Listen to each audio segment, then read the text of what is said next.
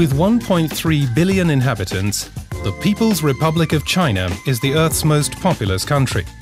The standard of living and consumer purchasing power are rising steadily.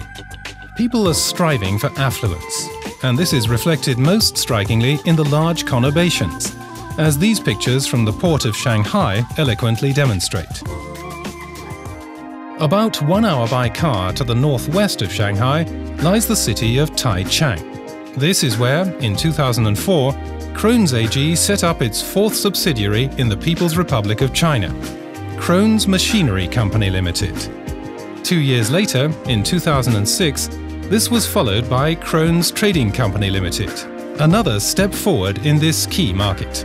Krones' production and service facility in Taicang covers a total area of 13,500 square meters. There are 100 people working here, in life cycle service, training, engineering, production and administration. Taicang's major capabilities include commissioning jobs for machines and lines, spare parts inventories and 24-hour round-the-clock service support. Krones Taicang also possesses its own PET laboratory, which uses specific test procedures to assure the quality of the containers involved. Mold production, too, is all handled in-house, from initial programming and manufacture to sampling procedures for the finished mold.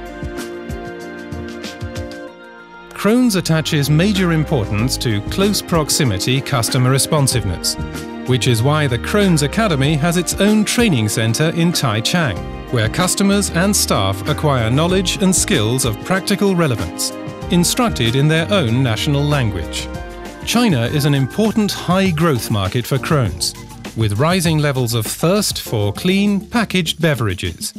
Up to 2010, beverage volume in China is predicted to increase by an annual average of 8%.